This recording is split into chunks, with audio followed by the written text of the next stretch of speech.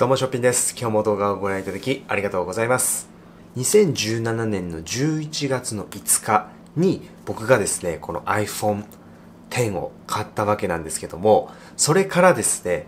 えーまあ、約1ヶ月が経とうとしていますので、まあ、その、今回はですね、iPhone X を買って、1ヶ月使用レビューということで、まあ、この動画をですね、あの、僕ら、ちょっとシェアをさせていただきます。iPhone X 買おうかどうか迷ってるって方は、あの、参考になるかもしれませんし、iPhone X 持ってる方からしたら、ああ、わかるって共感をしていただけるかなというふうに思いますんで、はい、ぜひ気軽に、あの、ご覧ください。メリットとデメリットを5つずつ、ちょっとお話をしていこうかなというふうに思います。じゃあ、メリットからいきます。えっ、と、1つ目はですね、まあ当たり前なんですけども、この画面のデカさですね。僕ですね、このスマホで、あの、スプレッドシートを開いて、ちょっと作業することがあるんですけど、一つの画面に入ってくる情報量っていうのが、やっぱ多いですね。これは非常に見やすくて便利です。えー二つ目なんですけど、えートゥルートーンと呼ばれる機能が、ものすごい見やすいです。砂浜のこの部分見といてください。いきます。はい。ちょっと濃くなったの分かりますか？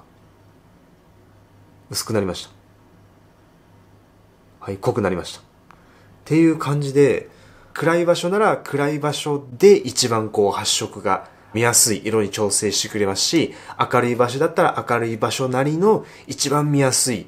発色っていうのを再現してくれるということで、これは非常に見やすいです。三つ目はカメラに関してなんですけど、動画を撮っている時に感じることなんですけど、手ブレ補正の効き効き目がですね、結構いいです。今こんな感じであの、片手でただ持っているだけなんですけど、えー、今ですね、片手で持って歩いてます。手ブレの具合はどんな感じでしょうか？とまあこんな感じで、なんか普通にコンデジとかミラーレスカメラで撮ってるような感じの、こう、手ブレ補正をかけてくれるので、これにジンバルをつければ、もう普通にヌルヌルの動画を撮れるんじゃないかなというふうに思います。で、4つ目はですね、まあこれはいいところじゃないかもしれないんですけど、バンカーリングをつけることで非常に持ちやすくなります。まあ当たり前ですけど。5つ目ですね。あの音質ですね。もうめちゃくちゃいいです。低音もしっかり出てくれます。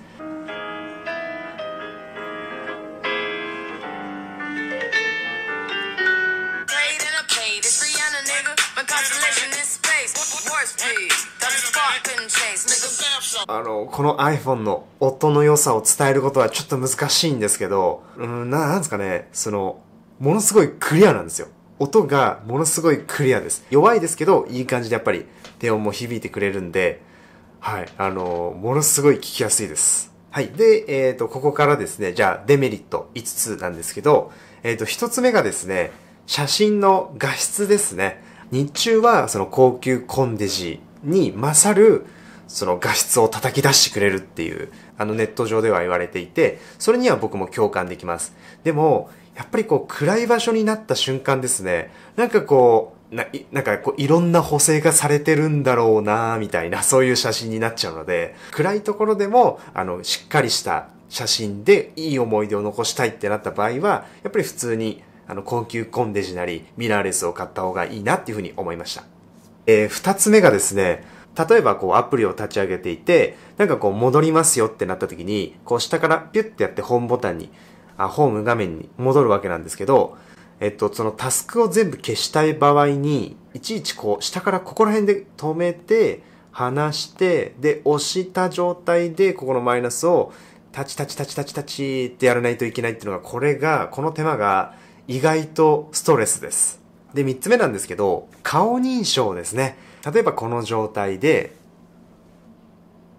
うん。ってやると、まあ、解、あの、こうやって解除されるんですけども、あの、テーブルがあって、で、ここに iPhone X を置いてますと。で、まあ、なんかここら辺でこう、作業とかおしゃべりとかしてて、通知が来てないか確認したいなってなった時に、ポンってやってこうやっても、うん、解除されないんですね。こうやって解除されないんです。こうやってちゃんと顔持ってこないと、こうやって解除されないっていう、いちいちこう持ち上げないとダメなんかいみたいな、これはめんどくさいなというふうに思いました。で、えー、4つ目なんですけども、まあ、これは値段ですね。はい。で、僕はですね、まあこれ一応仕事道具の一つとして見ていまして、仕事道具に使うお金はもちろん投資としてえを使うわけで、投資をするからにはリターンをちゃんと得るっていうことをまあ考えてやらないといけないんですけど、その、これ本体価格が13万円で、で、その13万円分の働きをしてくれるのか、その13万円の投資対、費用対効果はあるのかなって見たときに、うーん、僕はないと思いました。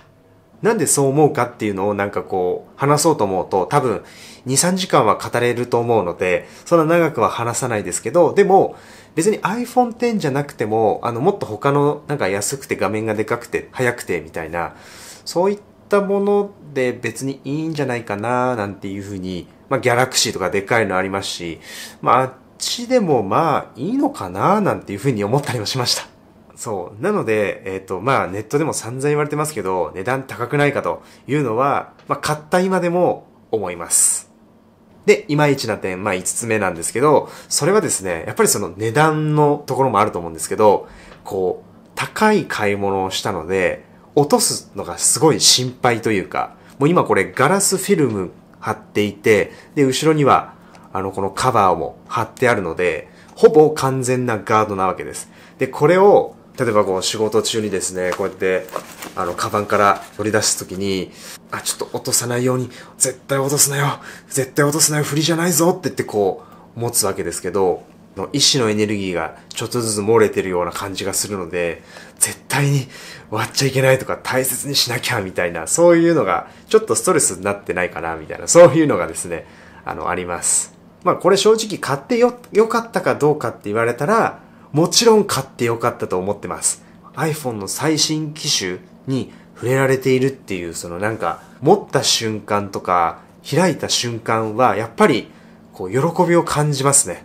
iPhone X いいねみたいな、やっぱり思います。なんですけど、でも僕にとっては別に iPhone X じゃなくても別に8とか7でも十分よくねとかって思ったりもするので、まあ、っていう感じですね。そうなんかもうオチが全然見つからないんですけど、はい。ということで iPhone X を買って、まあ1ヶ月使った使用感レビューをちょっとシェアさせていただきました。はい。今日も動画をご覧いただきありがとうございました。また明日